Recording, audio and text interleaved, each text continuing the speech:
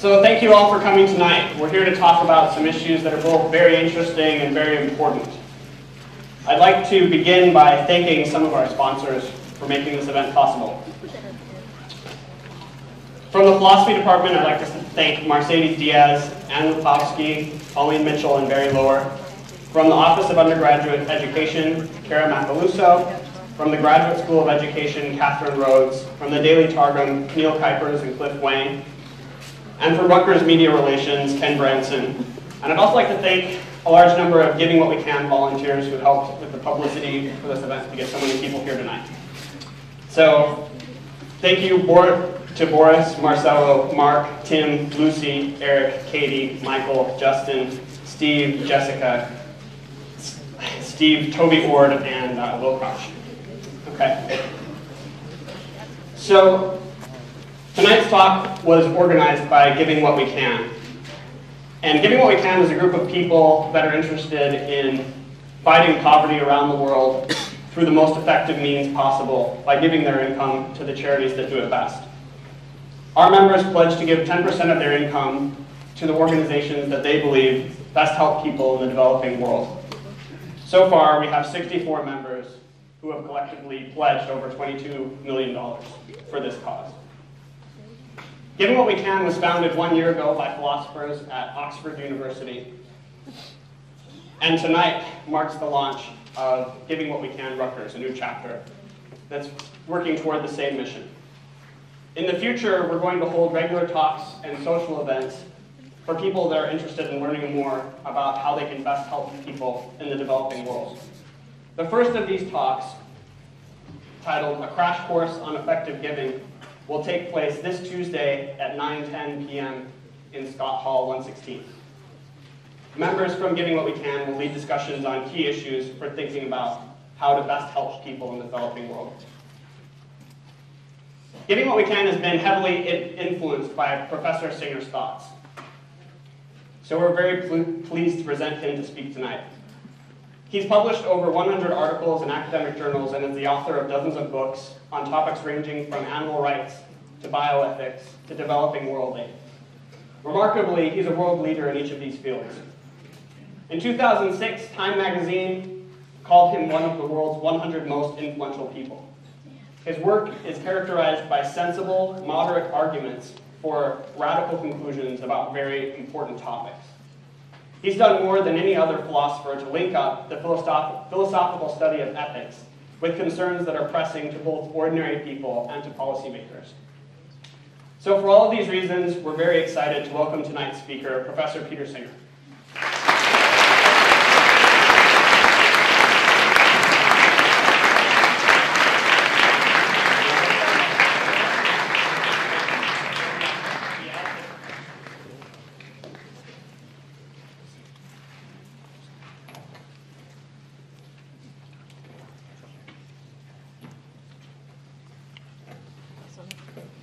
Okay, so thank you very much, Nick, um, and thanks to all of those who are involved in organising this event and who obviously did such a terrific job in turning out, uh, getting the publicity out and, and getting you all here. That's very exciting because I do think this is, even though I've given a lot of talks uh, over the years um, about issues like uh, global poverty and what we ought to be doing about it, this is um, a really special event, I think, because we are launching in the United States and, and here at Rutgers as what I hope will be the first of many chapters around the country, um, this organisation Giving What We Can, which, as Nick mentioned, involves making a personal commitment or pledge to be part of the, part of the solution to the problem, to to make a difference yourself.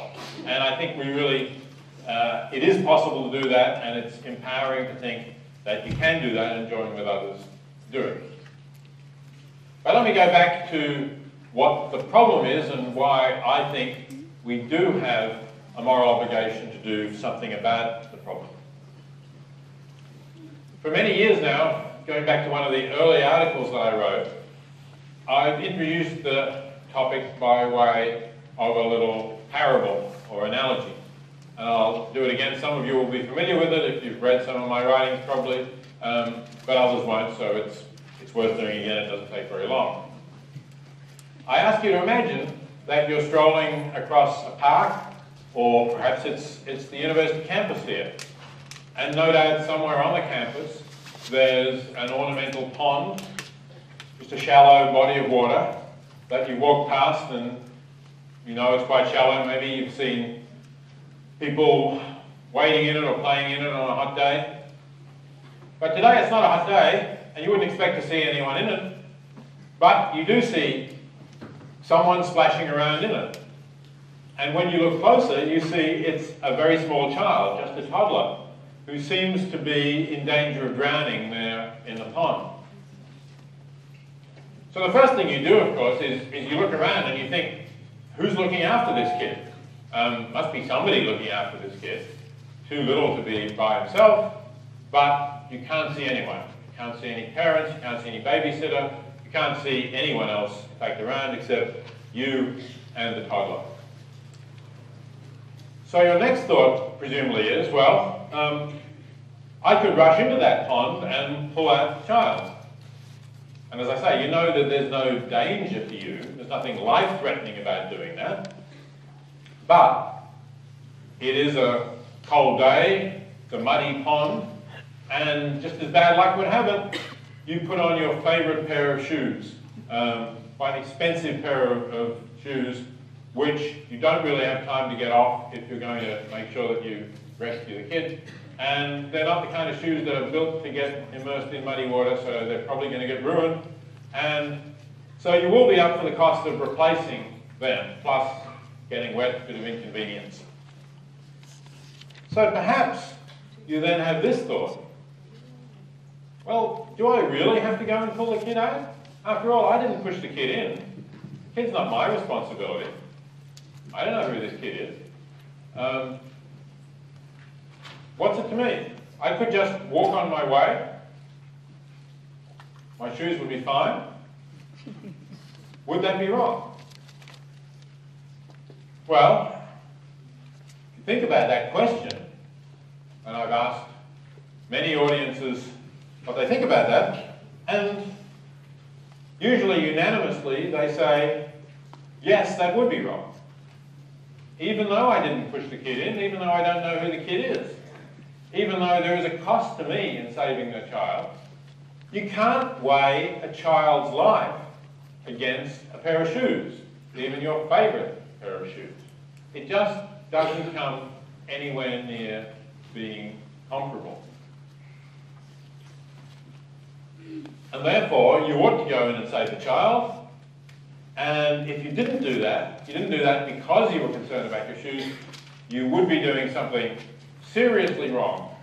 Some people would go even further and say, you know, you're some kind of moral monster, if that's the case. Well, let's not worry about the moral monster, but anyway, I think we should agree that that would be seriously wrong not to rescue a child under those circumstances.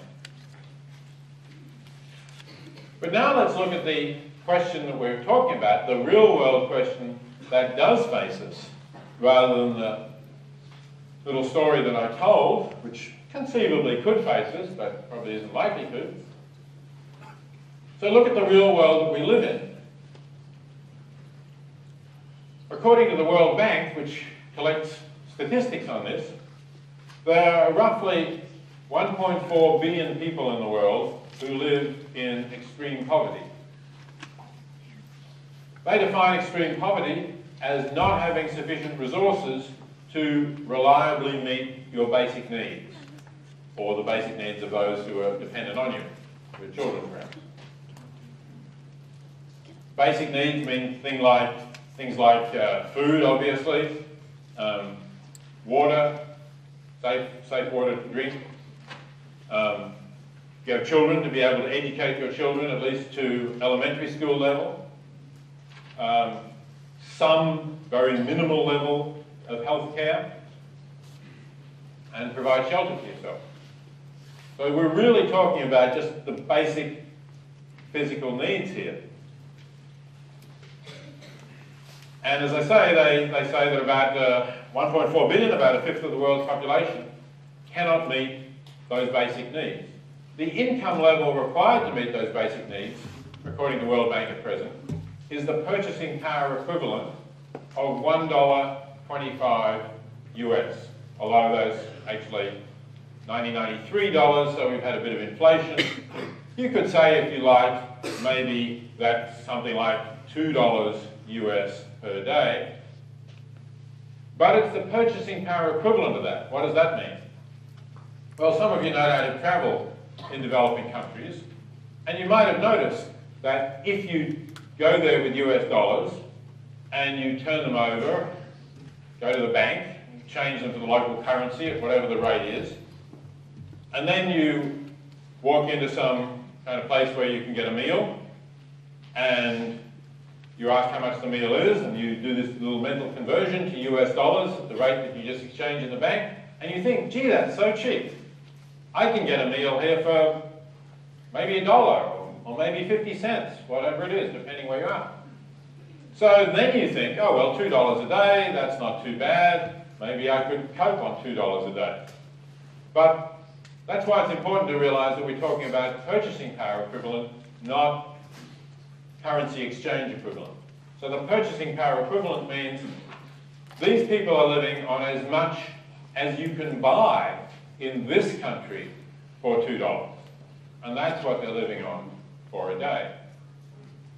That's important to realise because it's a way of expressing the difference between what you have and what they have to survive on. And think about what you spend $2 on. It's not very much. Maybe it's something like this. Or, you know, something else that you buy that you don't really need, uh, whether it's drinks or whether it's clothing that you don't need to keep warm, but because you know you're tired of what you're wearing, um, or uh, entertainment, going out, concerts, going on vacation, all of the things that we spend money on without thinking too much about it, and we're talking about um, more than other people have to live on for a day.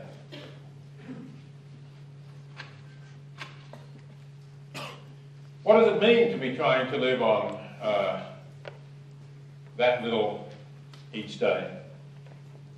Obviously, for many people, it means that they can't be sure that they're going to get enough food. It doesn't mean that they're starving necessarily, certainly not that they're starving all the time, but it might mean that they don't have food security. So, if the harvest is good, they'll be all right for that year. If the harvest is not so good, they won't be so good. They'll, maybe the harvest will last for nine months, but maybe for the last three months, they'll be cutting down to one meal a day and they'll be hungry. But they, many of them, most of them will, might still get through, but they'll be stretching. They won't have safe drinking water. Um, they may have to walk for hours. It's usually a woman's job in most cultures to provide water for the household. So the women and young girls will have to carry water, maybe for an hour or two a day, and that water will come out of a river and won't be safe to drink anyway. So either they have to spend more time gathering fuel or spend money on fuel to boil it so that it's safe, or they drink it when it's not safe. They drink it when it's not safe. They, particularly their small children, are likely to get ill, likely to get diarrhea. And another thing that you can't do if you're living on that little money is you can't afford any kind of health care. There probably isn't any kind of health care in your village anyway, so you would have to travel somewhere to get it with your sick child, and you can't afford to do that, or maybe there isn't any means to do that. Or if you live in a shanty town, maybe there is health care, but you have to pay for it, and you can't afford to pay for it. If uh, you live in a country where schools are not free, and in many developing countries they're not free, you can't afford to pay to educate your children, even though that might be quite a modest amount of money. So there's a whole lot of things that are likely to happen to you in terms of getting ill, not being able to get health care, not having children educated, getting into this poverty trap, therefore. If anything does go wrong, um, if you, let's say you, perhaps you keep a cow and get milk from the cow, the cow gets sick, you can't afford any veterinary care, the cow dies, you can't afford to replace the cow. All of these small crises are completely devastating for uh, families living in extreme poverty. And one result of this is, of course, a much higher death rate. A shorter life expectancy, for a start. So the life expectancy in developing countries is around 50. Uh, here it's in the, the high 70s, so essentially we live half as long again as, as they do. They lose um, that extra 25 to 30 years of their lifespan. And in particular, they're much more likely to see their children die before their fifth birthday. UNICEF, the United Nations Children's Organization, tells us in its most recent report, the 2010 report, that came out uh, uh, just a month or two back, that 8.2 million children under five die each year from avoidable poverty-related causes. Now, that's, when you think about it, a pretty terrible figure. It's hard to grasp such a large figure. So break it up on a daily basis. It comes to something like 22,000 children dying every year. You'll all remember the earthquake that occurred in Haiti last year and the outpouring of uh, donations that, uh, that occurred as a result of, of that. A lot of people felt that was an immense tragedy, as indeed it was, and wanted to do something about it. The death toll from that earthquake is now estimated at being around 240,000 people. Well, if you think about the death toll from poverty-related causes, I said just the children under five is 22,000 a year. You add the adults, you'll certainly get to something like 30,000. So um, the death toll in Haiti was probably just a week or eight days of the death toll from avoidable poverty-related uh, diseases. That's been going on every week since the earthquake in Haiti and is continuing to go on now. Why don't we have the same outpouring of concern and response to that? Well, the reason's pretty obvious. It's not in the media in the way that that event was. Think back to other dramatic events like the Asian tsunami a few years earlier or Hurricane Katrina. Those dramatic events make very powerful television footage and monopolize the media. Everybody talks about them. People say we should do something, and a lot of people do something. But when children are dying in villages, in ones around, around the world, um, it's not something that is newsworthy. There's really just nothing to cover. The TV cameras aren't there. And so it happens beneath the radar, and we don't talk about it, and very few people do anything about it. It's not that you can't do anything about it. Because in fact that figure of 8.2 million, although as I said, it's a, it's a terrible figure to think of that number of deaths occurring that could be prevented, it's actually an improvement over the previous year and over the year before. I wrote a book called uh, The Life You Can Save about this topic, which came out in March 2009. If you have a copy of the hardback of that book, you'll see that the figure is um, 9.7 million. And if you look at the paperback, which came out this year, it's 8.8 million. So it's coming down. That's the good news. If you go back further, in fact, if you go back to the 1960s, it's 20 million. Although the population of the world now is about double what it was in the 1960s. And the population of uh, the people, the, so, so the proportion of people dying from poverty-related causes is actually dropped quite dramatically. So we can make a difference, and a number of organisations are making a difference to help people in extreme poverty, to reduce disease, to provide better agricultural te techniques, to provide more education, and so on. Um, so it's not as if this is an insoluble problem. It's not.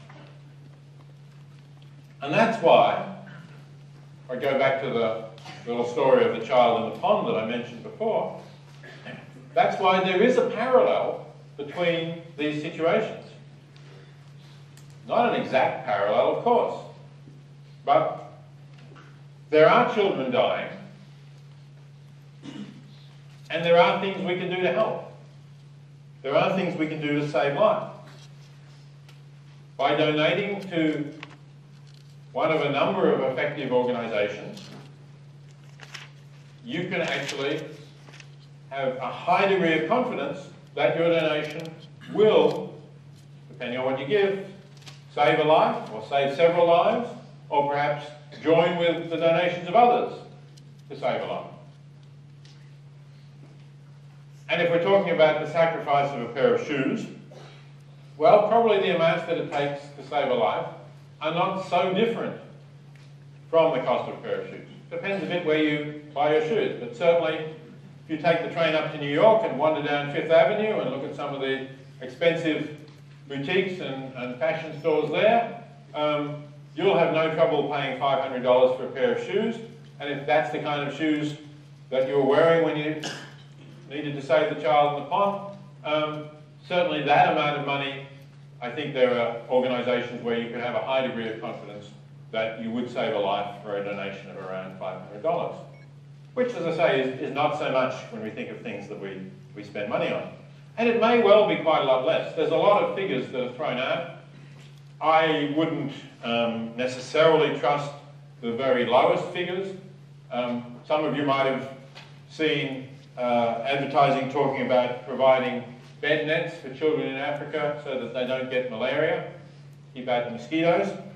Um, malaria is a major killer of people in developing countries, a major killer of children. It can be prevented by bed nets, that's certainly true.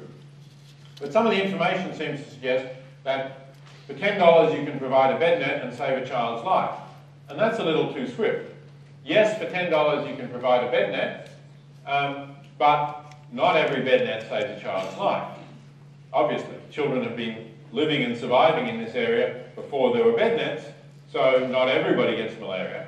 And you would have to know how many bed nets does it take to distribute to save a child's life. Does it take 20? Well, then you can save a life, child's life for, for $200. Uh, does it take 50? And so on. You can do the math. So, um, you know, we need to think about this critically, about which organisations are likely to be effective. But uh, I do believe that there are many effective organisations. Uh, if you want to know more details, uh, I've set up a website with um, the same name is the title of, the book, The Life You Can Save. So go to thelifeyoucansave.com. You can uh, find some uh, lists of organisations that uh, I recommend or that other organisations recommend. Um, and uh, Giving What We Can has a, a, website in England where Toby Ord, who set that up, also has some organisations that, that he recommends. So um, it is possible to save lives and to make a difference. So I think that the, there's enough of a parallel between the child in the pond and our situation with regard to those in extreme poverty to say that the judgment that I assume you made, that pretty much everybody does make, that it would be wrong to walk past the child in the pond, that that judgment also applies to us when we understand that we can save the lives of children, or adults for that matter, in developing countries at a somewhat similar cost to ourselves. There is something really bad happening in the world right now. Children dying of preventable diseases. There is something that we could do about that at relatively modest cost to ourselves, doesn't require heroism, and I can't see any moral arguments to show that uh, we ought not to do that. There's anything wrong with that. So it seems to me that that is what we ought to be doing. We ought to be helping people in extreme poverty where we can make a big difference for a relatively modest cost to ourselves. It may not emotionally feel like the case of the child in the pond because the child isn't in front of you. But I think that here we should really be trying to make that imaginative leap and put ourselves in the position of, let's say, families whose children are dying because of these poverty-related diseases. And think about that, and perhaps we'll start to feel something of a corresponding emotion to what we would feel if the child were in front of us. But even if we don't, I think we should be prepared to think about the ethical situation and follow through with what our reason tells us to do there. It's, it's not surprising, after all, that we should have a, a different emotional response to people right in front of us. We've evolved from humans who lived for all of our evolutionary past until the last century or two in a situation where we only really knew about people close to us or we could only help people close to us. We were powerless to help needy who were far away from us because we didn't even know the, what their need was. We couldn't communicate rapidly enough. So of course we've evolved with a kind of evolution, with an emotional apparatus that is for face-to-face -face situations. But now that we've developed instant communication and the ability to help people on the other side of the world, I think we have to expand our moral horizons so that we recognize that they are people to whom we have obligations as well as having obligations to people who are close to us. Now, um, yeah, I don't want to go on too long because I want to um, allow you some time for, for questions and then there's an important part of the program uh, to follow after that. But um, I'm sure many of you are thinking of the question, well, if I agree that I have this obligation to do something to help those in extreme poverty, how far does that go? What does it commit me to? Because you probably have been able to, to work out yourself that Suppose you do give what it takes to save a child's life. Suppose, let's say, it's $200 and you, you give $200. Having done that, there are other children still, you might have saved one child's life, but there are other children. There are these 8.2 million children at least um, who still need help. And so you could give again to help another one of those, and you can give again and again and again. And it doesn't seem like there's any stopping point. It seems like unless you've impoverished yourself to the point where you have nothing more to give, the argument is one that can still be reiterated. It's still the case, as long as I've got something that's not really a necessity that I'm spending money on, it's still the case that I ought to be giving it away. Is that right?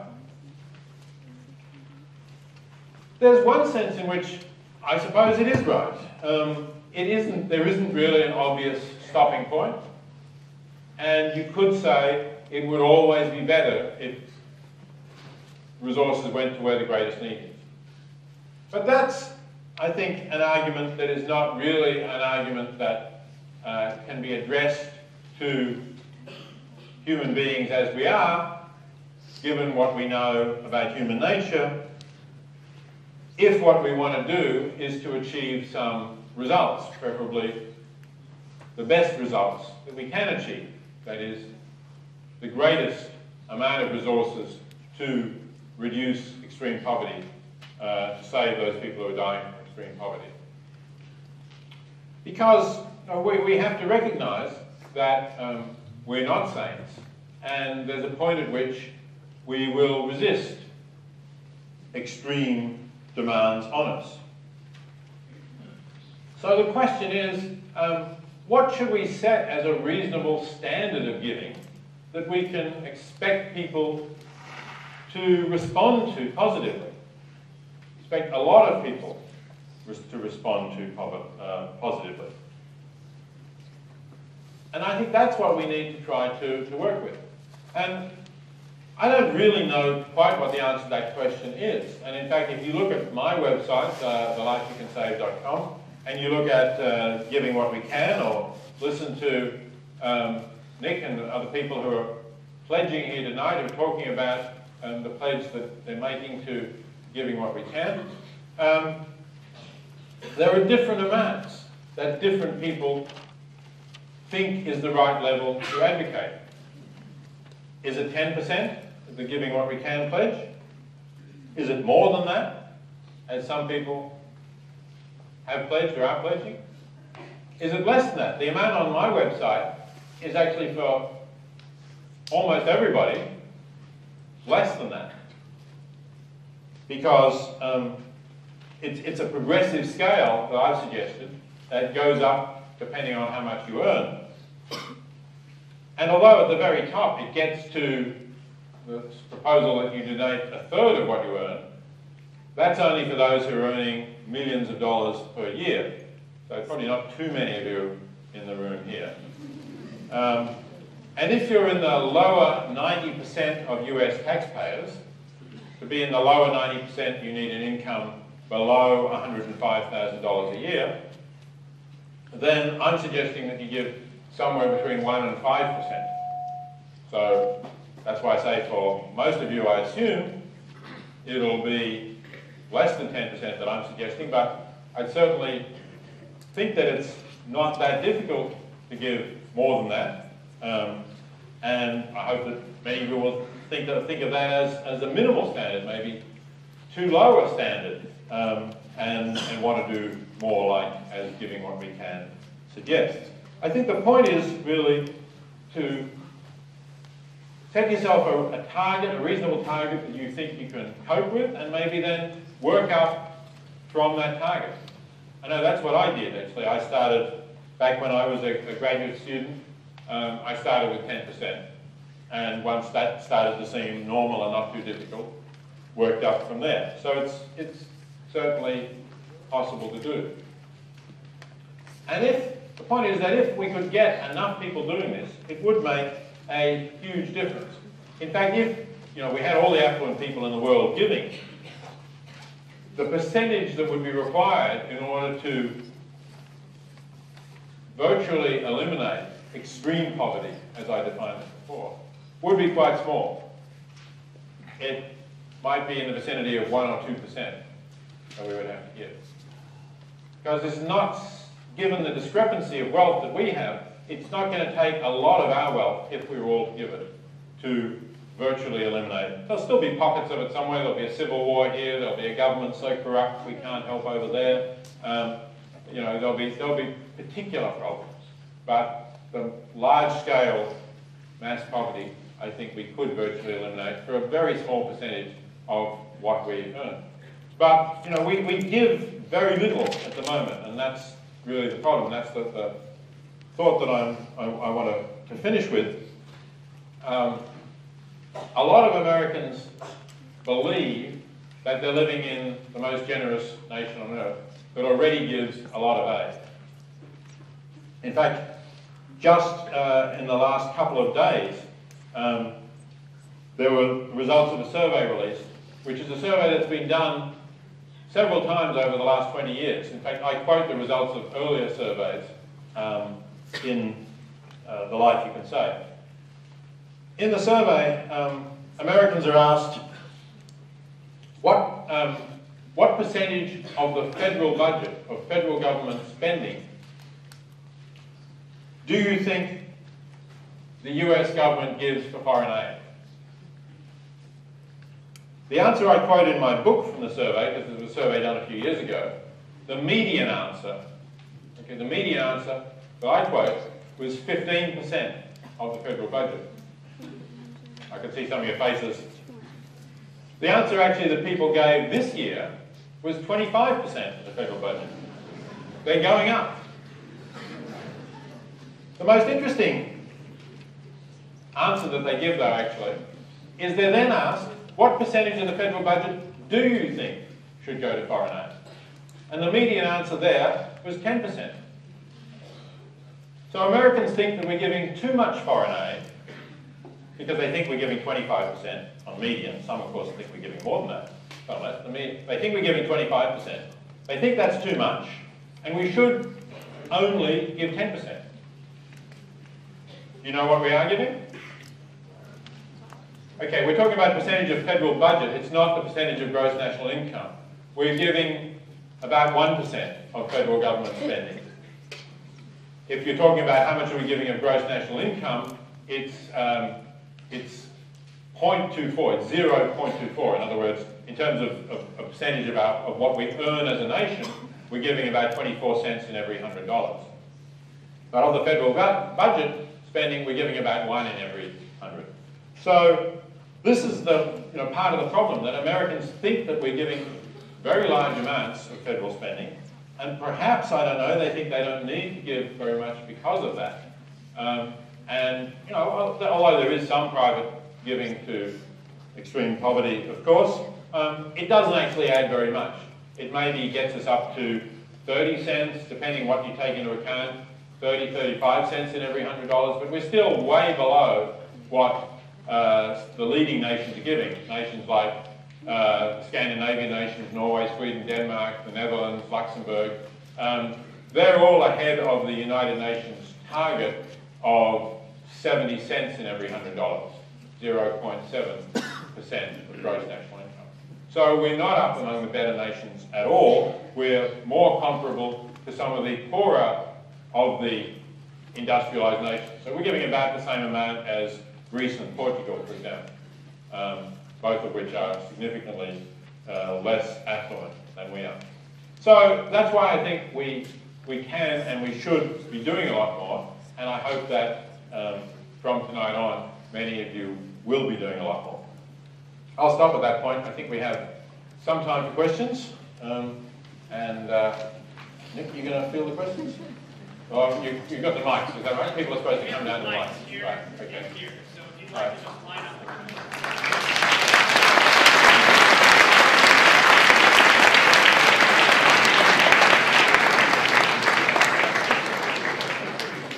Okay, so why don't we start with you? Um, I just want to say, imagine if you walked by the pond with your boots on and the pond has a hundred toddlers in it, you know, or 500 toddlers. I feel like this is one of the problems. People feel they won't make a difference.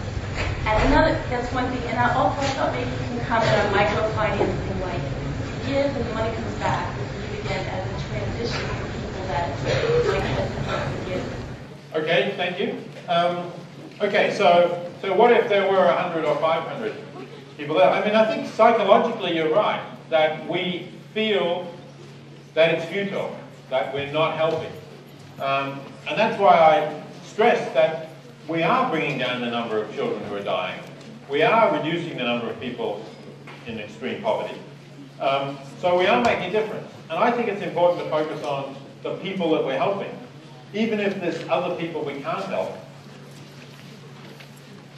Think of the difference it makes to an individual family that their child can get a simple, inexpensive treatment for diarrhea and can survive.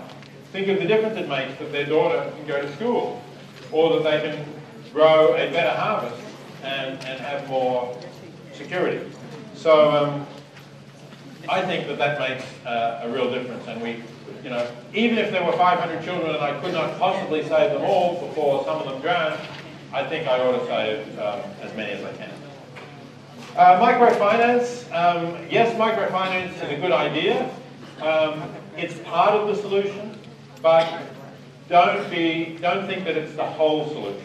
Um, microfinance definitely helps some people get out of poverty.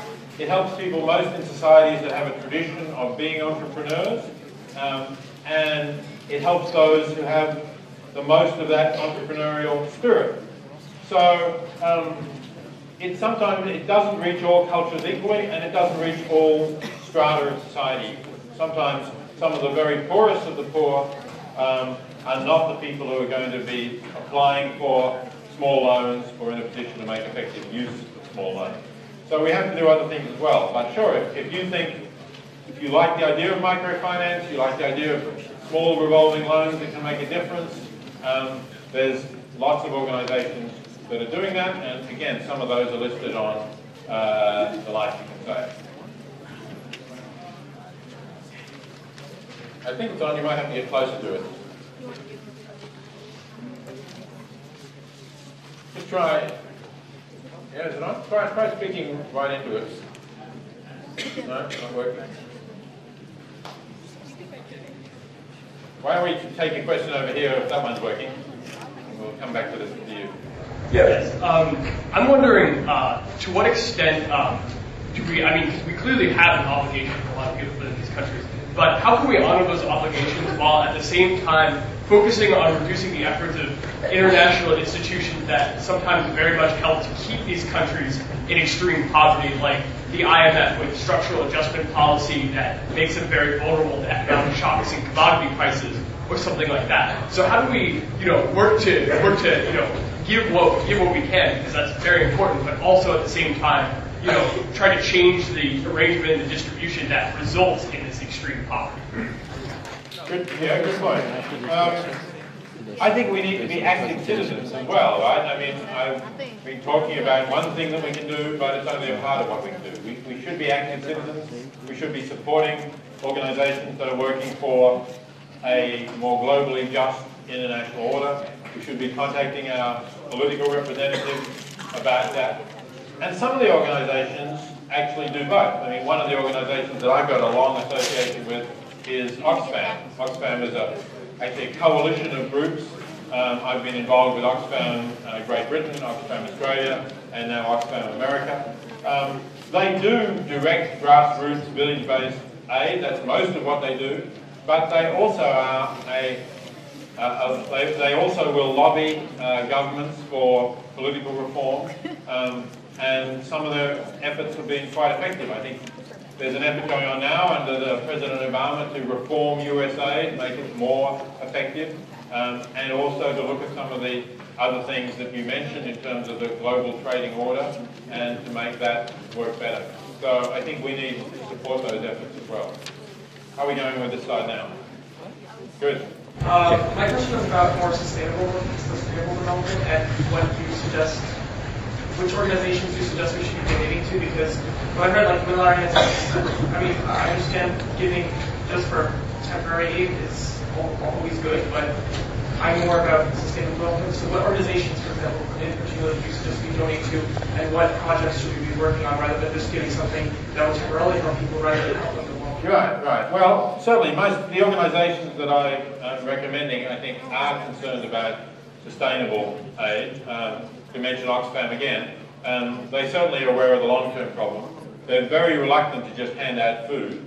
Um, they will hand out food in occasional emergencies, but that's only a small part of what of what they do because precisely as you said, they know it's not it's not sustainable. So um, they are doing things like helping people with better methods of agriculture that are sustainable and that are going to produce better crops for them. They also help people to protect their resources and the environment, to work against uh, perhaps large multinational corporations that are endangering their livelihoods. So, for instance, um, if the people who are getting food by, by fishing and uh, their fishing rights are being violated by companies that are uh, international companies that are trawling uh, the areas that, that they've traditionally fished. They'll try to defend them uh, in doing that.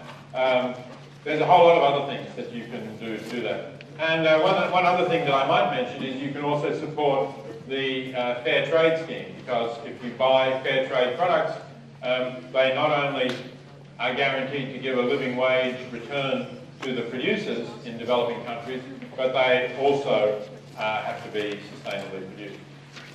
we'll take another one here. row. So I'm kind of interested in what you think our obligation should be in regards to poverty in the United States.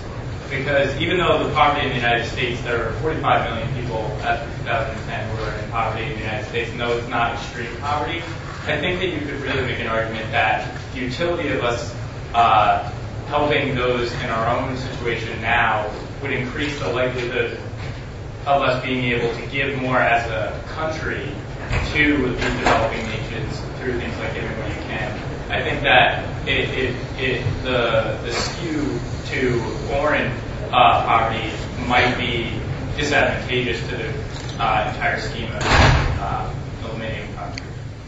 Okay, well, that, that's an interesting argument. Um, I suppose I'm influenced by not only the fact that, as you acknowledge, that the poverty is more extreme, um, and, but also the fact that your money will go a lot further in, in developing countries. Um, after all, if you compare with that uh, uh, $2 a day um, that, that people are living on uh, with, with the poverty line in this country, um, I think the poverty line for a family of four here is something like $22,000. Um, well, not sure. It's, it's, it's tough. I, it must be very tough to live and support a family of four on $22,000. But you think how much does it take really to make a difference to that family? Obviously, you're talking about thousands of dollars. Giving them an extra $500 isn't really going to make very much difference at that level. Um, but if you're living on $500 a year, then 500, another $500 can make a huge difference. And I'm not suggesting we just hand out cash either, of course, but I'm thinking about the kind of resources and the difference it makes. So, um, you know, that's why I focus on uh, giving to those in extreme poverty in developing countries. Uh, I certainly think there's something wrong about a country as rich as this that has 45 million people living in poverty. Um, I hope the government will do more to try to help those people and uh, improve their conditions and obviously find jobs for them. But I still think our priority should be in making the resources we have available to give go as far as possible. And that will mean giving it in developing countries rather than here. Come back to this now. Uh, hello, I have um, three uh, questions, those points that resemble already mentioned. Uh, the first one was basically cynicism, you know, and how um, the money that is collected, you know, people think will it be well distributed, will it reach the people that need it the most and all the rest of it. And the second one is related to sustainability. Um, if, uh, if you like talked about mosquito nets, even if you buy like say for one family or person 20 of those and spend $200, and then, you know, they get bitten by, by a mosquito, plastic disease anyway, and, and, you know, they die or whatever, then, you know, just thinking about what the best use of money would be. And uh, the third one is connected also to, the home situation here, you know, um, just kind of comparing that money again, you know, how much how much you use and, and where you use it. Um, it's more effective to use that, say, 200 here you know, and at least you know that uh, you will be giving these people food to eat, or is it better to take a chance on those mosquito nets, let's say?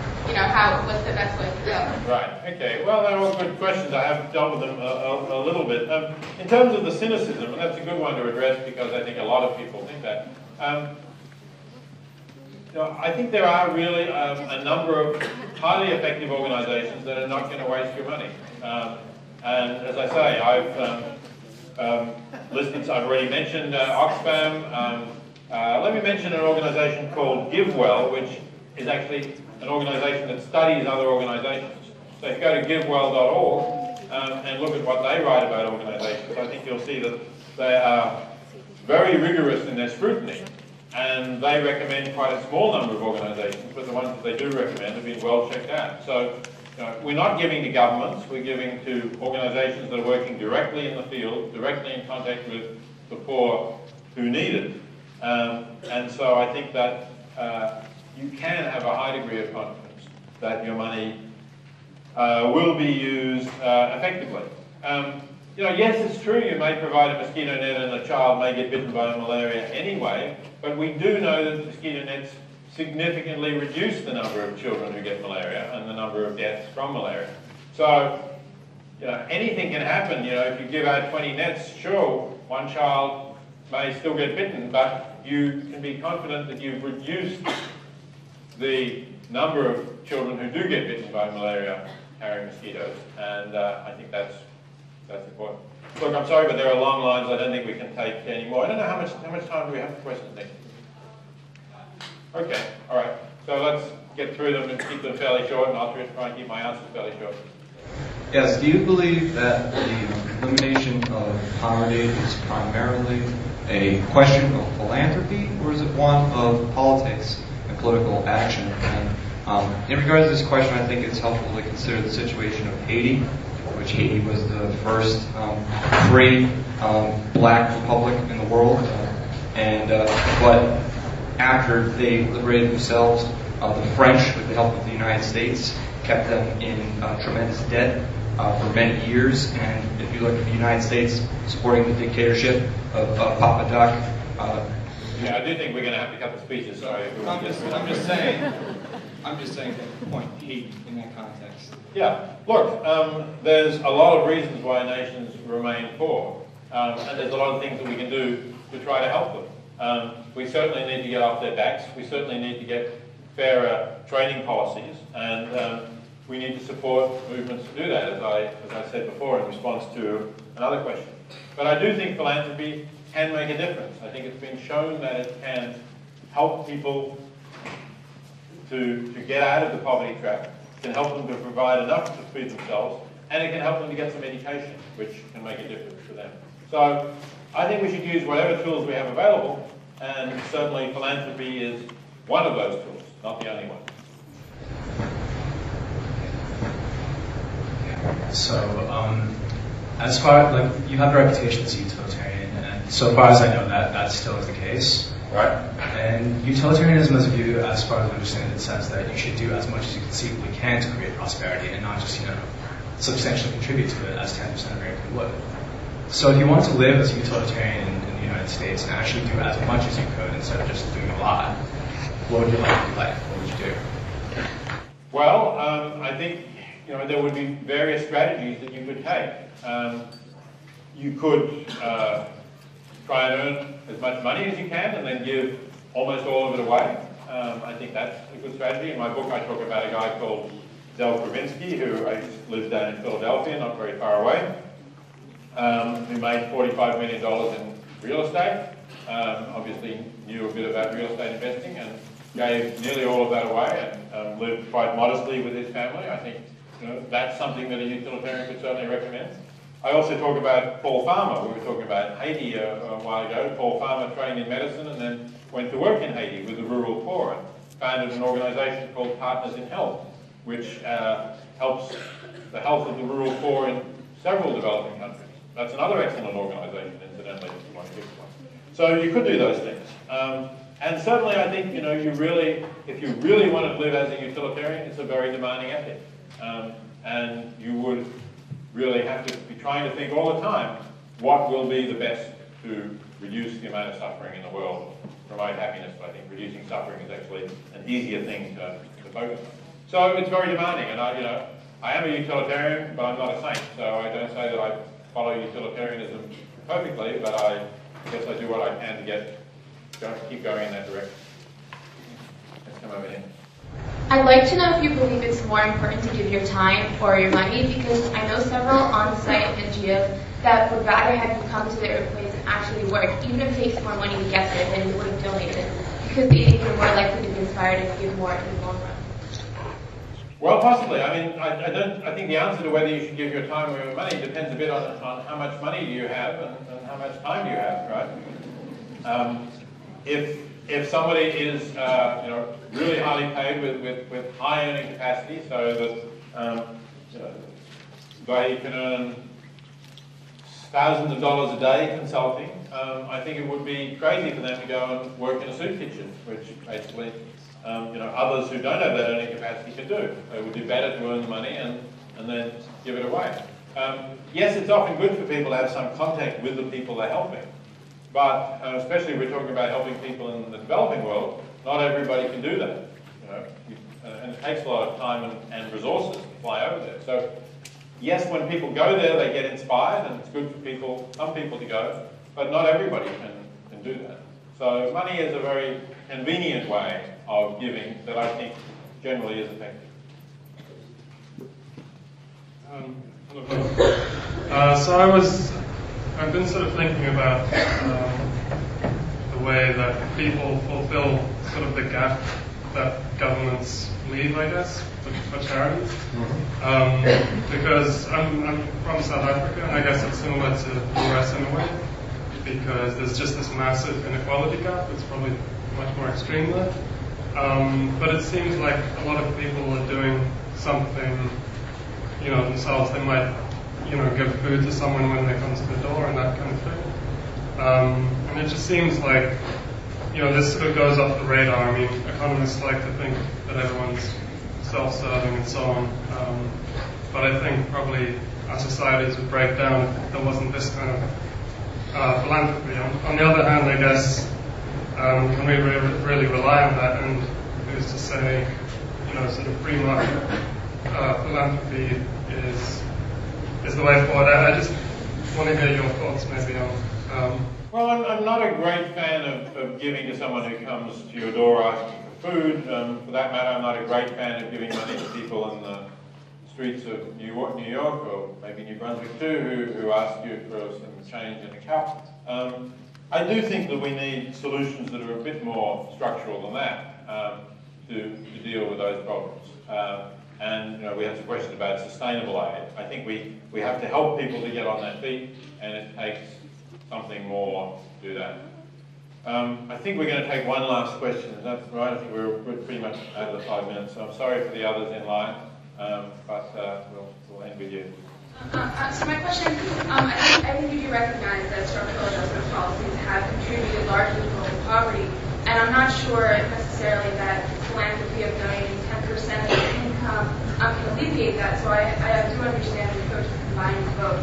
Um, but then my question would be, if it's up to, if it's up to the individual to act responsibly um, the local community, um, I think we, I think we would have to start thinking about um, kind of our daily ethical lives and where the money that we get in terms of um, what, whatever kind of um, position we have in society, where the money comes from. Because ultimately, that's, if that's perpetuating a cycle in which structural adjustment policies continue, then I'm not sure that donating 10% of your income would actually alleviate the problem, but would just perpetuate the structural policies. But, but the question is, what are you going to do about it, right? You can think about where the, money that you're earning comes from, or that money, you can think about what you're spending it on. But you have to do something about it. And I think giving philanthropically is something very practical that we can see makes it a real improvement to the lives of some people. Um, I don't know really how to reliably affect the global economic order, but as I say, I think we can be active citizens. But to think about um, what am I, where's the money I'm earning coming from? I mean, I could think about, I guess I get paid out of Princeton University endowment and the fees of students. Um, you know, but and, and no doubt that's come from all sorts of investments, some of which I would not approve of. But um, would I be more effective if I therefore said, well, I'm not going to work at Princeton, therefore. I have to find something else to do. Probably won't earn as much. Won't have as much as I can give away. I also won't have the platform, like it or not in this country. If you're a university professor, that gives you a platform to speak to other people. More people listen to you. So it would be, I think, kind of self-defeating to really think that because the sources of the money that I'm earning are impure, um, I shouldn't be taking it. Um, I think we have to be realistic about what the opportunities we are, we have to make a difference. And I think we should be looking at how we can, in the most practical and concrete way, actually change the situation that we're in and make the world better. Thanks very much.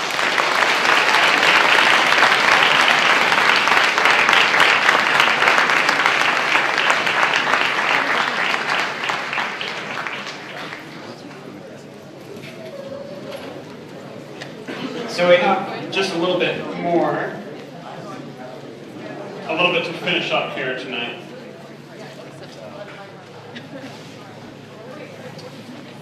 So first, just a few announcements. Once we're done, we're going to have a book signing here in the lobby. We have some books out here. Professor Singer will be here to talk to you. Second, if you found this event interesting, we hope you'll attend some of our future events. So if you didn't hear it when we came in, we're having a follow-up event this Tuesday at 9:10 p.m. at Scott Hall 116. It's called A Crash Course on Effective Philanthropy. And several of the Giving What We Can members are going to be talking about what are the very most important things to be thinking about if you want to make a difference through giving. Third, if you have a questionnaire when you came in and it was placed on your sheet, please hand that to one of the people with the name tags as you're headed out. We use this information for self-evaluation and to get funding for more events like this. Finally, for those of you who need to sign in for a class, please write down your name and the class that you're attending on a sheet of paper and give it to one of our representatives. So let me close with some final thoughts. We've heard a lot tonight about our obligations to give. And we've heard some suggestions about what kinds of things, uh, what, what level of giving would be appropriate for us. One thing that's interesting to think about is how big of an impact can we make if we decide to go ahead and give at different levels. So some of us in Giving What We Can take Professor Singer's arguments very seriously. So Mark Lee and I, for instance, have made a pledge, which some of you may have seen in the Daily Targum, to give 50% of our future earnings once we're finished with our PhD program. Um,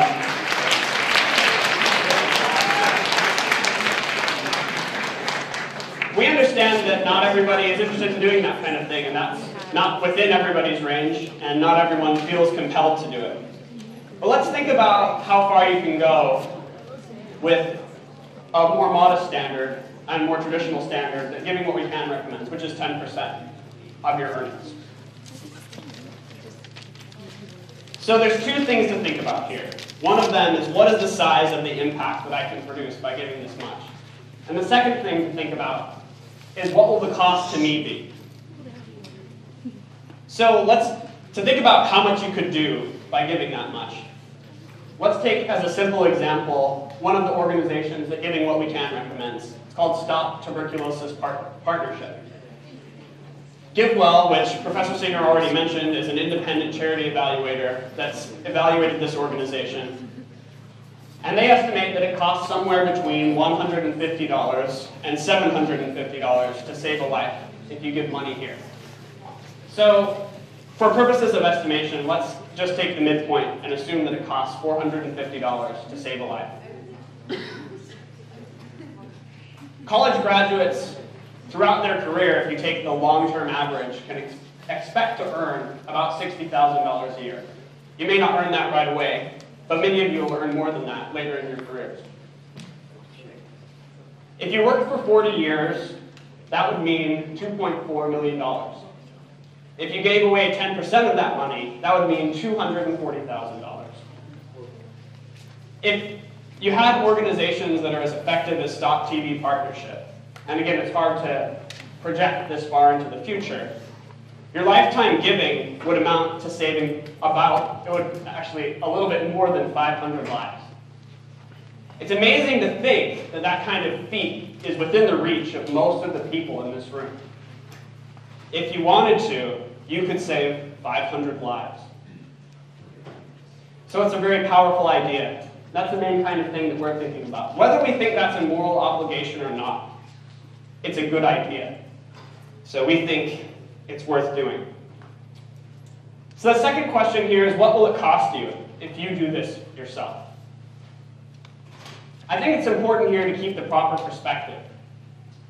Giving 10% of your income to the poor is an ancient standard that goes back a long time. People were doing this long before we were recommending. And those people were much poorer than we are. We should also remember that someone who earns $25,000 a year is in the top 3% of the world's wage earners. giving 10% of their income would still leave them in the top 3.8%.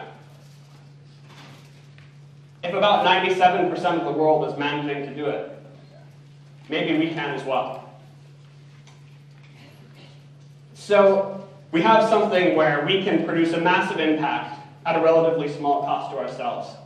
Some of us would even say it isn't a net cost. Some of us would say we get a great amount of satisfaction knowing that we're doing something like this that makes a massive impact. And that's the way that we at Giving What We Can think about this kind of idea. So for my final thought, I want to stress the importance of, if you decide to give, giving your money to the most effective causes that you can find. So we talked about an estimate of saving a life for something in the ballpark of $450. A study of 587 different med life-saving medical interventions found that the median cost to save a life was something like $41,000. So there's a difference here of a factor of 100. A difference between six, saving six lives over your career or 500. When the stakes are this high, we need to take the effectiveness of giving very seriously. For this reason, Giving What We Can and other organizations like GiveWell have done careful research into the effectiveness of aid. You can find our research on our website, givingwhatwecan.org. You can find information about our upcoming events here at Rutgers at givingwhatwecan.org slash Rutgers. If you found the ideas presented tonight interesting, we hope you'll join us at our future events. If saving lives abroad is the kind of thing that you care about, and giving 10% of your money seems like it's worth it to you, we hope you'll consider becoming a member. Thank you all for coming.